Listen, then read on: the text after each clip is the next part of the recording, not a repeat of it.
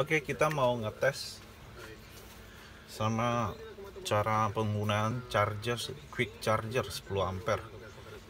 Ya, ini kotaknya. Dalam ada buku petunjuk. Hmm, barangnya seperti ini.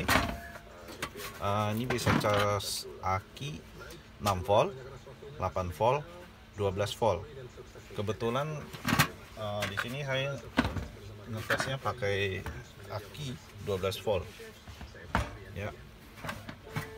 Oke pertama. Kita pastikan dulu aki 12 volt kita setting ke 12 volt dulu ya. Di posisi 1 2 3 ini adalah kecepatan pengisian. Kalau akinya kecil ampernya maksudnya ampernya kecil kita posisi kecil aja. Satu atau dua. Kalau tiga biasa untuk kecepatan ngisi aki yang lebih besar. Oke. Kita jepitin yang merah ke merah. Hitam ke hitam. Ya. Seperti ini. Setelah itu ini posisi off ya posisi off dulu. Kabel powernya colokin ke listrik. Lalu ditekan on. Jika on ini lampunya nyala merah. Nah ini jarum A nya ini menunjukkan di 4 4 ini berarti sedang diisi.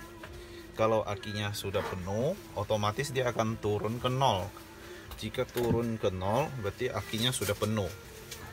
Ya ini kecepatannya. Kalau untuk yang 1 2 3 ini adalah kecepatan. Kalau kita set di dua ya otomatis A nya naik.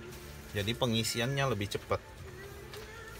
Tiga juga dia akan lebih cepat lagi pengisiannya. Tapi kalau untuk ukuran aki kecil disarankan pakai satu atau dua ya kalau mau dua atau tiga itu biasa ukuran aki yang di atas 10 ampere.